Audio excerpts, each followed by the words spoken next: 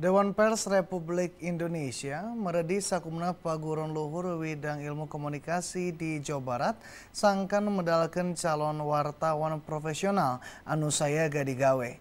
Pangna itu persaingan dunia jurnalistik kacida rekepna anu kalindih ku wartawan Asia nu digarawe di sawatara pausan media di Indonesia.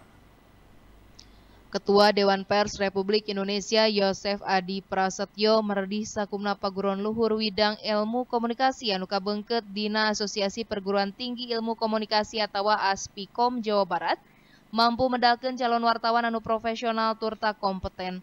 Pangnak itu kiwari rea wartawan anu kurang kompeten digawe turtanya limpangkan fungsi profesina bikin kepentingan pribadi atau kelompok utamana dina tahun politik kawas ayena. Liantik itu bekireana jurnalis asing di sababaraha kantor media di Indonesia, jadi salah saiji redaget dina tumuhna media di lemah cai. Yosef ngebrehkeun paguron luhur widang ilmu komunikasi kudu mampu jadi kawah Chandra di muka wartawan profesional turta sayaga makalangan jeng wartawan asing. Ini uh, perguruan tinggi ini adalah Chandra di mukanya bibit-bibit wartawan muda masa depan Nah, kita tahu banyak uh, pemuda kita masuk perguruan tinggi berharap bisa mendapatkan ilmu yang kemudian connect dengan uh, industri yang sifatnya terapan. Nah, karena itulah perguruan tinggi yang punya uh, ilmu komunikasi, khususnya jurusan jurnalistik, sangat diperlukan. Kenapa? Karena kami sedang mendorong uji kompetensi wartawan. Kita sedang melakukan verifikasi perusahaan-perusahaan pers.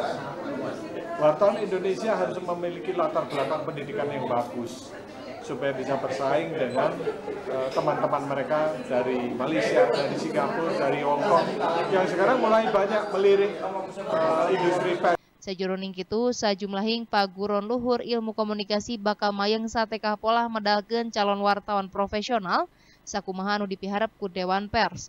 Mahasiswa ilmu komunikasi kudu diwewegan ku pangawuruh ngeunaan jurnalistik Timimiti prak-prakan nulis, ngedit sora, tepi ngarekam, katut ngedit boh potret, boh video. Gembira sekali ya, uh, terkait dengan statement atau pernyataan Pak, Pak Yohanes selaku Ketua Dewan Pers Indonesia, karena itu berarti kabar baik untuk kami.